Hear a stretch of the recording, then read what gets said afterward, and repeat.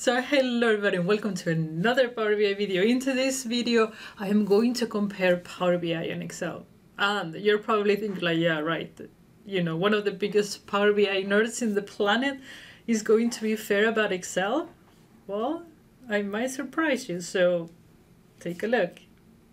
My initial idea was actually to put points for each feature that one or the other does better, but I'm not going to do that actually. The reason why I'm not going to do that is because it doesn't make any sense. Power BI and Excel are two different tools that are used for different things. So depending on what you're trying to do, you will pick one or the other. It's not that one replaces the other. Again, it depends on what you're trying to do. So this video will not show you which tool is better because it's not comparable that way, but it will definitely show you which tool to use in which case. Okay, so let's get started. If we start from the first thing that we normally do, which is get data into Power BI or Excel, um, there are actually, I believe, more connectors in Power BI that you have in Excel. So connectors are these things that it says, okay, connect to uh, another Excel table or connect to an Azure database or connect to, you know, ERP data warehouse X. So those things Power BI has more of than Excel. I know that a lot of times we use Excel as an input tool, so we put the data in there. That's another thing. You have the same capabilities in Power BI, but when it comes to getting data from other sources, Power BI has more connectors. But with that said, now with Power Automate, with basically, you know, with flows and UI flows and all that stuff, allows you basically to get data from anywhere and put it in an Excel file and put it whenever you want, whatever you want. I don't see that a limitation for picking one tool over the other. You can still get the data in as well, but it won't be out of the box basically. So yeah. Now, what happens when you want to add or modify data that is available in a report? If you have Excel, easy peasy, right? You go to the cell, click, click, d, d, d, you write the new number, you're done. In Power BI, you cannot do that. You can, in certain cases, using Power Apps, for example, from the Power Platform. But that is not the case. That, that, that is not what it's meant to do, and it does it poorly you wouldn't have a power app that goes into a thousand lines where you input every single thing or even if it's 50 because you know you can say okay for this type of products category a i want to have 50% and then you can just drag and drop. With power apps is everything is possible but but it doesn't make any sense. Now here's the thing here's where you have synergies for these things. You can do the cleaning and the data analysis and all that stuff in Power BI. And then when you need to do row by row things, you can connect that data with Excel and do these row by row calculations and then you're done. So you're using the best of each world. Now, we have the data in Power BI, we have the data in Excel, and the next thing that we need to do more often than not is just, you know, to transform it, to put it in the shape or form that we want in order to do the analysis that we were trying to do from the very beginning. And when it comes to that, you have Power Query in Power BI, which is brilliant. It's the best thing of Power BI for sure, in my opinion. And you have Power Query in Excel too. And I think it's 2013, I believe. It is included in Excel. You don't have to add it as an add-in. If you have below that, you have to add it. So the capabilities are basically the same. So no, I, I, I don't know if they develop Power BI in Power Query more than in Excel, but for what I've seen is pretty much the same. So no battle in there.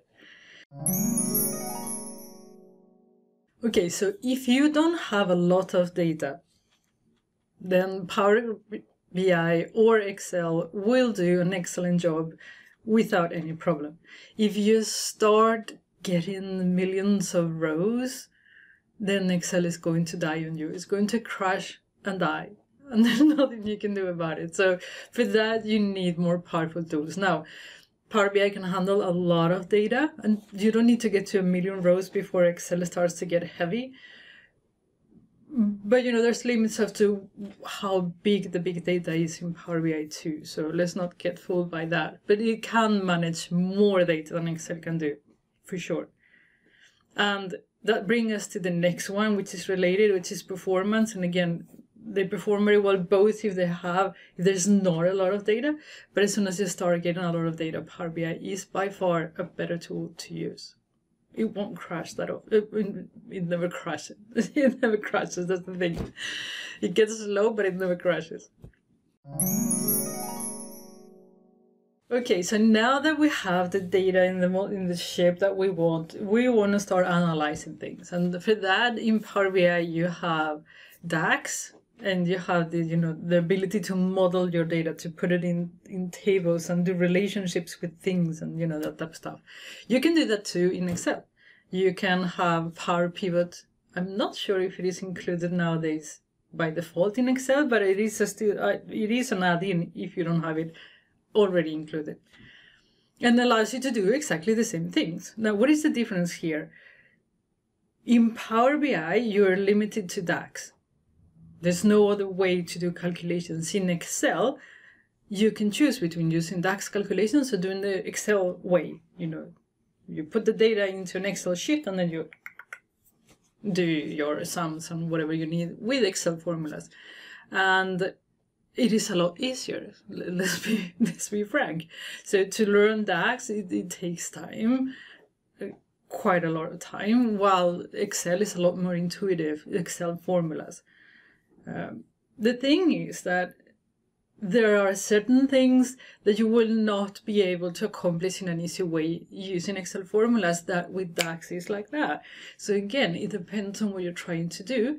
You might want to say, I will use Excel formulas because it is pretty simple, or I want to calculate this super thing and DAX will do it for me. Okay, so it depends. It depends. Okay, so now we have the data in, Power, in, Excel or Power BI, we've done the calculations and it's time to do visualizations. Well, when it comes to visualizations, we need to break it down a little bit because it's not that easy. If we talk about just the graphs, the type of visualizations you can do, Excel has a lot more. And the ability to customize those vis visuals or graphs or charts is a lot better than in Power BI, for sure. And yes, Power BI has the possibility to import tools from third party. A lot of companies cannot use those tools. You can create them yourself with Charticulator. Fine, a lot of people don't have the knowledge or the time to do that. So out of the box, Excel has a better visualization, charts, graphs, the things. But when it comes about visualizing data, that's one of the things that Power BI does better than Excel because, for example, you have the possibility to add these artificial intelligence visualizations that Microsoft is delivering out of the box. I have you have this explain the decrease and increase, which I absolutely love. It's a wonderful, wonderful feature. And then you have the AI visualizations that have come to the market which have limited reach, but this is an area where Power BI is going that you don't see it in Excel. And we're going to see more and more of that, which we'll see where it goes.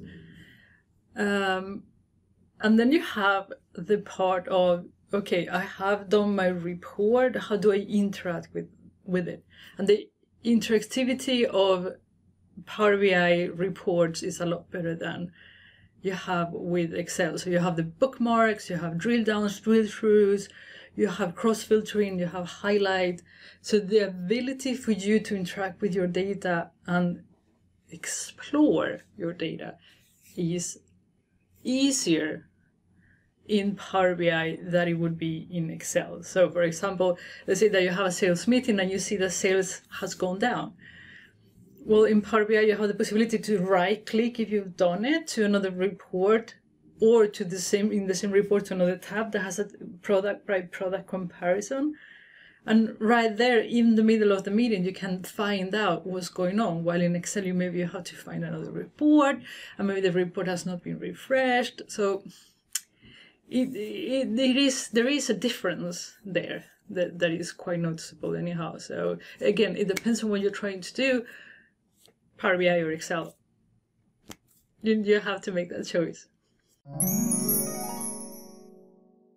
Okay, so now that we have our final report done and looks pretty, looks beautiful, we are going to share it. So how do you share things? In Excel, the only way to share it is you put it into shared drive somewhere or you email it to somebody. And you know what happens when you email things and put it outside its context, right? They get all right off the bat. So with Power BI, you have the possibility to publish these Power BI desktop reports to the cloud so anybody can get a link to see them. And not only that, you can also schedule refresh it, which basically means that what you're seeing is live data. Everybody's looking at the same data.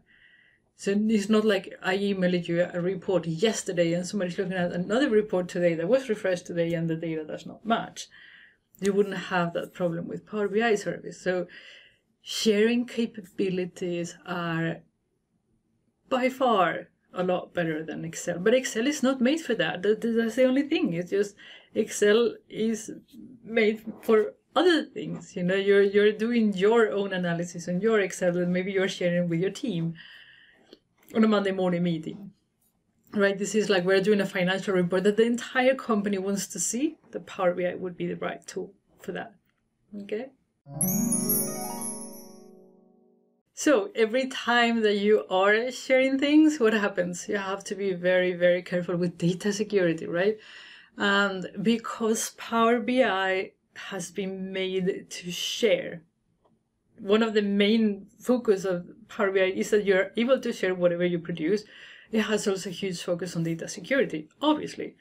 So you have row level security, you have the possibility to show a dashboard without the possibility to download the report or the data, for example. So row level security means that you only see the data that was that you are supposed to see. For example, if you're a manager of in the US, you will only see US data, kind of thing.